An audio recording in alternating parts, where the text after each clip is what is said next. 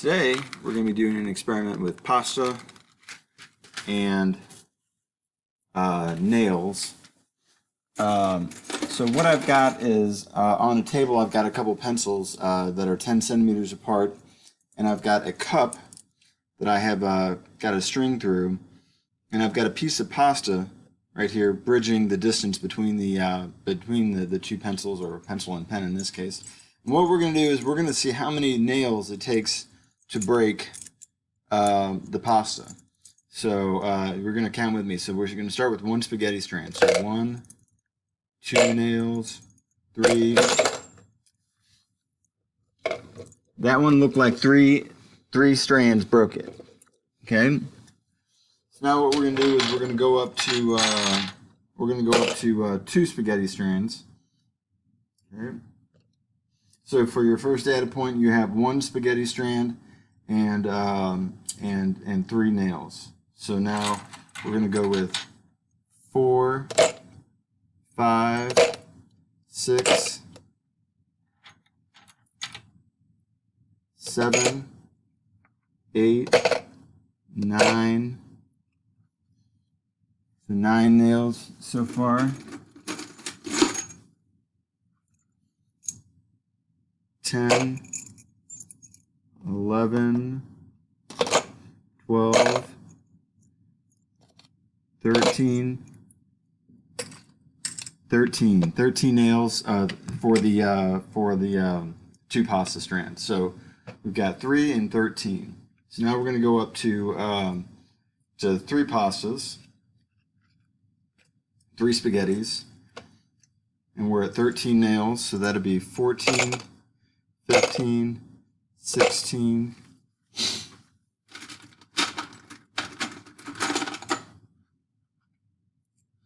Seventeen, eighteen, nineteen, twenty, twenty-one, twenty-two. So that's 22 nails for uh, for three pastas.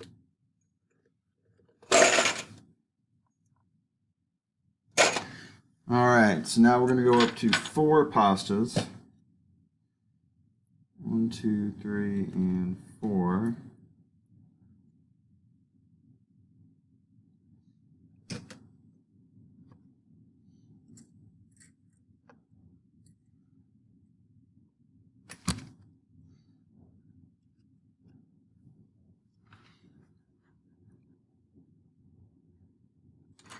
Okay, now if I believe, if I remember correctly, we were at 23 nails. If not, let's go with 23.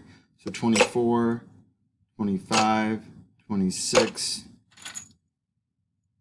27, 27 nails. So 27 nails for, for four pastas.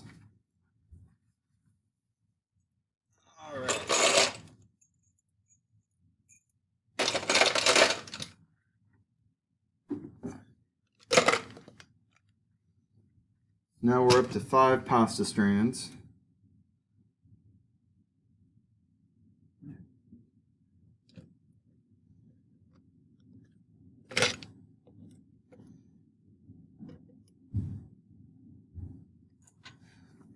Get some more nails here.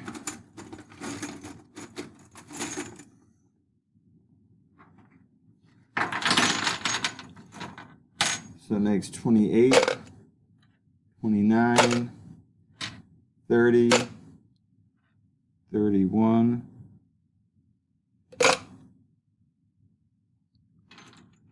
32, 33,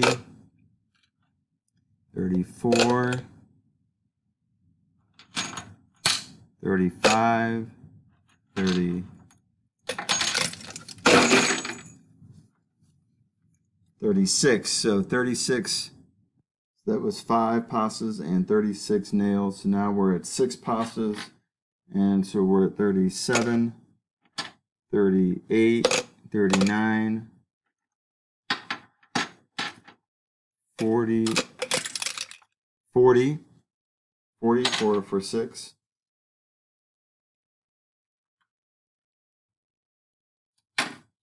And our last data point will be for seven noodles. One, two, three, four, five, six, seven.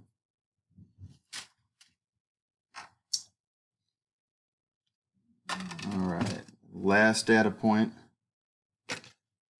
be for seven noodles.